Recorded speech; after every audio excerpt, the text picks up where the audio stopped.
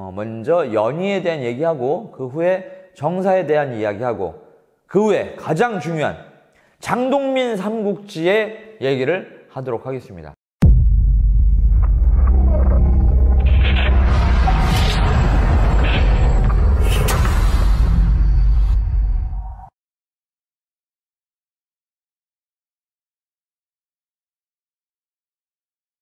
네, 이번 시간에는, 어, 지난 시간에 이어서, 어, 지난 시간에 이제 반동탁 연합군이 결성이 되었다. 이제 교모의 직서에 의해서, 어, 또 원소와 함께, 어, 전국에 있는 이제 군웅들한테 직서를 보내서 모여라! 라고 해서, 예, 18로 제후가, 연희상에서는, 삼국 연희상에서는 18로 제후가 모여서 반동탁 연합군이 됐고, 어, 이제 원소가, 원소가 맹주로 추대가 돼서 이제 다 같이 이제 연합군이 형성이 되었다라고 말씀을 드렸는데 여기에서 이제 정사 내용은 조금 다르다라고 말씀을 드렸습니다. 정사에서는 여러분들이 그 알고 있는 대로 18로 제후가 다 모인 게 아니고 거기에서 공손찬과 마등은 예, 대표적인 이 다른 인물들도 참가하지 않은 사람도 있는데 대표적으로 대표적인 인물 중에서 이제 공손찬과 마등은 참여하지 않았다. 그래서 유비 삼형제는 유비의 삼형제는 원래 공손찬의 부장으로 참여를 어 이제 했다라고 삼국지 연의에서는 나와 있지만 공손찬이 참여를 안 했기 때문에 공손찬이 참여를 안 했는데 무슨 거기 무슨 유비관의 장비는 어떻게 왔겠어? 그래서 참여를 아예 안 했다. 반동탁 연합군에 참여를 안 했다라는 얘기도 있고, 어, 음, 다른 쪽 의견에서는 그 당시에 공선찬 밑에 있었던 게 아니고 조조와 함께 있었기 때문에 조조와 이제 같은 동네에 있었거든요. 그래서 조조와 함께 조조군에 속해서 유비관우 장비 삼형제도 참여를 했다. 이런 내용들이 있습니다. 어찌됐건 어, 여기에서도 반동탁 연합군 이제 그 동탁 토벌전에서도 유비관우 장비 삼형제는 원래 이제 삼국시 연희에서는 대단한 활약을 대단한, 대단한 진짜, 어, 얘네가 없었으면은 뭐 좋은 결과 있지 않았어. 라고 할 정도로, 예, 큰 업적을 남기게 연희에서는 그려지는데, 정사에서는, 정사에서는 유비관우 장비가 뭐였는지 제대로 나오지가 않아요. 예. 하지만 우리 이제 주인공이기 때문에 삼국지를 다 이제 좋아하고 사랑하시는 분들은 유비관우 장비, 어? 이 의형제, 삼형제는 도대체 어, 뭘 하고 있었는지. 그리고 얘네가 뭔가 활약을 많이 해주고 이래야지만 뭐 우리가 또 기분이 좋아지니까 연희에서는 어, 이, 대단한 활약을 한 것처럼 이제 그려놨지만 실제 정사에서는 별 있었는지 없었는지조차도 잘 모르는 그런 상황입니다. 그래서 어, 이번에는 삼국지 연희 얘기부터 어, 해보려고 합니다. 연희부터. 어, 반동탁 토벌전 여기에서는 이제 어, 먼저 연희에 대한 얘기하고 그 후에 정사에 대한 이야기하고 그 후에 가장 중요한 장동민 삼국지의 얘기를 하도록 하겠습니다. 여러분들 뭐 다들 그 이쯤 되면은 계속 이제 해서 연재를 계속 하신 분, 정독하신 분, 어? 아니면 또 역주행하신 분, 뭐 이런 분들 굉장히 많으신데, 음, 잘 알아야 되는 게 뭐 연희도 중요하고 정사도 중요합니다. 하지만 장동민 삼국지의 포인트는 와, 그 사람이 왜 그랬는지 그 상황에 대해서 이해를 하려고 하고 어, 또 아, 나라면 그 상황에서 어떻게 했을지 그리고 왜 이 사람은 이, 이 행동을 했을 때 왜 왜 이렇게 했을까? 라는 것들을 파악하는 그런 것들이 가장 중요하기 때문에 어, 순차적으로 이 반동탁 연합군 동탁 토벌전에 대한 이야기를 해 드리도록 하겠습니다. 자, 일단 여러분들이 좋아하는 어, 삼국지 연희의 얘기부터 할게요. 어, 연희는 여러분들 뭐 책으로도 보신 분 있고, 뭐 만화로도 보신 분 있고, 뭐 드라마, 영화, 뭐 기타 등등 굉장히 많이 보셨을 거예요. 근데 항상 이제 이쯤부터 예, 굉장히 멋있는 활약을 하고 뭔가 드라마틱한 게 나오는 거는 이 동탁 토벌전. 이때부터 굉장히 드라마틱해지고 재미있어집니다. 뭐 스펙타클하지. 자, 그 얘기, 흥미진진한 얘기를 지금부터 해 드릴게요. 자, 이제 원소와 이제 경호의 그 직서로 의해서 예, 18로 제후가 쫙 다 모였습니다. 군웅들이 쫙 모여. 뭐 어, 누가 뭐 5만을 데리고 왔다, 누가 3만을 데리고 왔다, 누가 10만을 데리고 왔다, 누가 뭐 2만 5천을 데리고 왔다, 뭐 잔뜩 해. 응? 잔뜩 해요. 그래서 많은 인원들이 모이게 됩니다. 이제 낙양성에 동탁이 있으니까 낙양성 근처로 응? 근처로 이제 다 모여 있어요. 모여 있어서 이제 맨 처음에 다 같이 모인 상태에서 다 모인 사람들이 뭐 태수 자사 막 이런 사람들이거든요. 그러니까 지금으로 따지면은 어 뭐 도지사, 뭐 어디 시장, 어? 뭐 이런 사람들이만 다 모인 거야. 어? 다 모여가지고 이제 어 이렇게 사람들이 많이 모였으니까 대장이 있어야 되지 않겠습니까? 어? 얘기를 했지. 근데 거기에서 어, 대장을 다 하고 있는 사람들이야. 다 대장이야. 어느 지역에서는 다 대장들인데 누가 대장을 하기 싫겠어? 다 대장하고 싶지. 그래서 아, 이 뭐 원소가 다 모인 거 내가 대장하면 안 될까? 라고 안 합니다. 음. 우리도 뭐 그런 거 뭐 회장을 뽑거나 뭐 이런 거 할 때 내가 하겠습니다. 뭐 이렇게 해가지고 아 그럼 뭐 하시죠. 이런 사람 별로 없잖아요. 역시 최고의 뭐 리더의 가오는 추천이죠. 추천하고, 추천하고, 누가 뭐, 아, 제청합니다. 동의합니다. 어? 뭐 이런 거. 어? 이런 걸 해야지 좀 가오빨이 사는 거죠. 그래서 역시 이제 18로 제후들이 다 모여서, 어? 다 모여가지고, 어, 누구를 맹주로 삼으면 좋을까 얘기를 하는데, 여기저기서 추천이 들어옵니다. 원소에게. 왜 원소에게 추천이 들어왔을까? 원소를 왜 추천할까? 자, 그 전 시간에도 많이 말씀을 드렸지만 이 원시, 원가가 워낙 세력이 세고 다 원가에서 다 파생된 거예요. 어? 뭐 관직이고 뭐고 원가한테 잘못 보여가지고 좋을 게 없어. 어? 그렇기 때문에 뭐 너나 없이 다퉈서 추천하는 거지. 아 원소를 추천합니다. 아 이거는 뭐 원공이 해야 되는 거 아닙니까? 뭐다 이렇게 이 공짜를 붙여요. 이제 높임의 그 어, 이 뜻으로 공짜를 붙거든요. 관호에게도 관공 뭐 이렇게 하잖아요. 유비 부를 때도 뭐 어, 유공 뭐 이렇게 하고 또 원소를 부를 때도 아 원공 뭐 이렇게 한단 말이에요. 그게 이제 높임의 높임의 이제 말입니다. 그래서 아 원공이 당연히 이런 자리에서는 뭐 어? 그 하셔야죠 라고 여기저기서 이제 추천을 해서 원소도 아유 뭐 제가 뭐 그럴 만한 뭐 그러지 됩니까? 아, 여러분들이 뭐 그렇게 생각을 하신다면 뭐 제가 해야죠. 라고 해가지고 자기가 덥석 물어요. 물고, 이제 그, 원래 연희에서는, 연희에서는 조조가 굉장히 거기서 무슨 뭐, 아, 누가 그럼 뭐 할까요? 뭐 진두지휘 한 것처럼 이제 그려져요. 근데 실제로는 지금 이 시점에서는 원소랑 조조가 갭 차이가 너무 나요. 갭 차이가 굉장히 많이 나.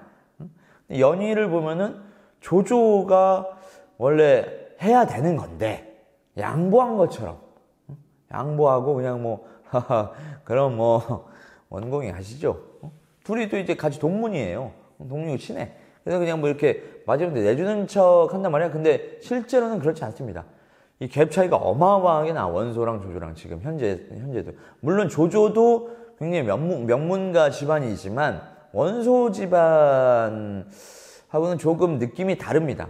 이 조조의 집안은 할아버지가 이제 환관, 환관 출신인데 환관 그 탕류, 그러니까 환관이니까 탕류파죠.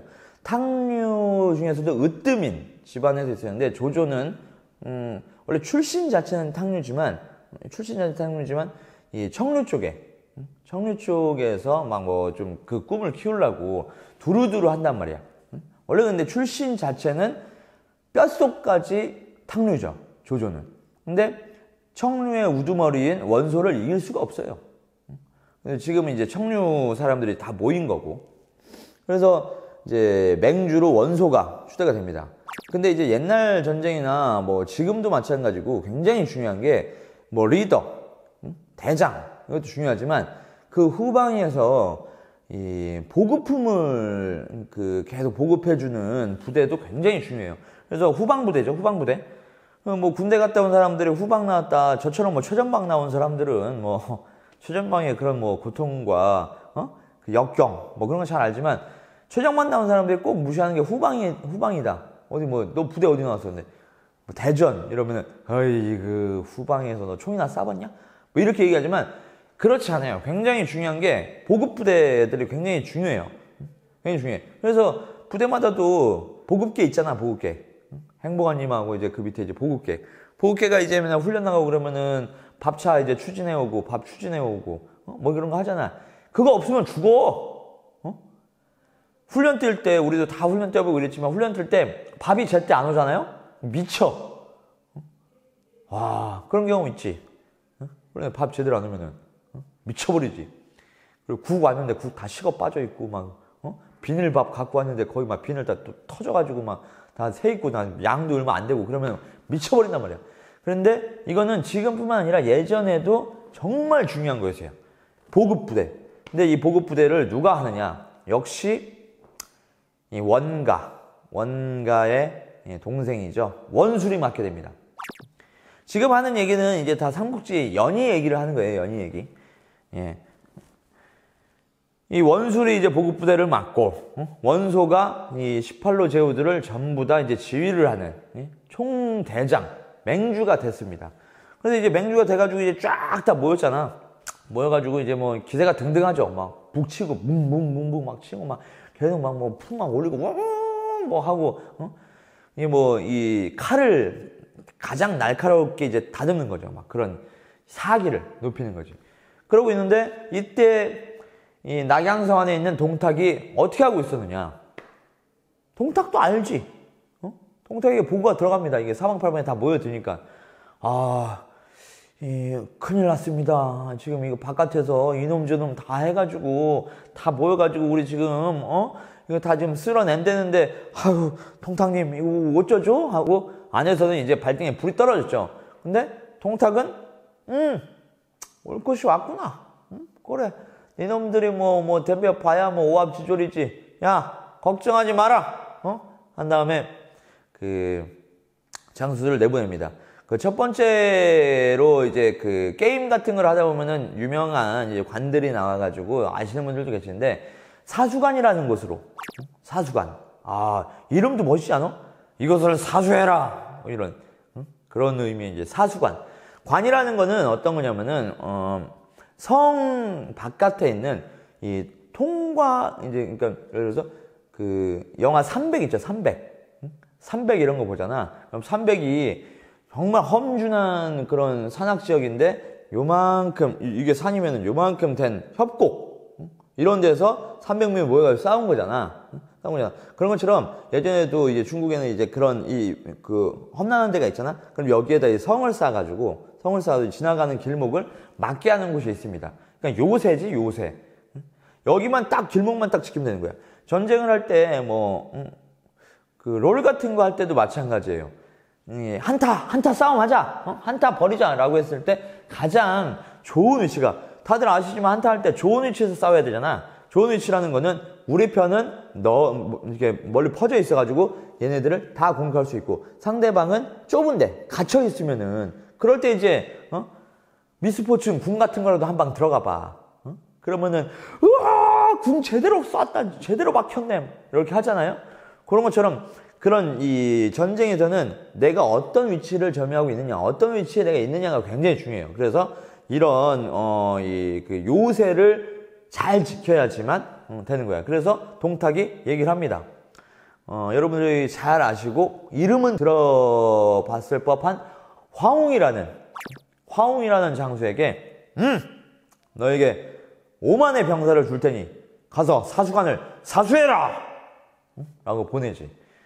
근데 이 화웅은 음, 화웅은 뭐 이제 나중에 또 그 정사에서도 얘기를 하겠지만 이 게임이나 이런 거를 많이 하시는 분들은 화웅이 무력이 화웅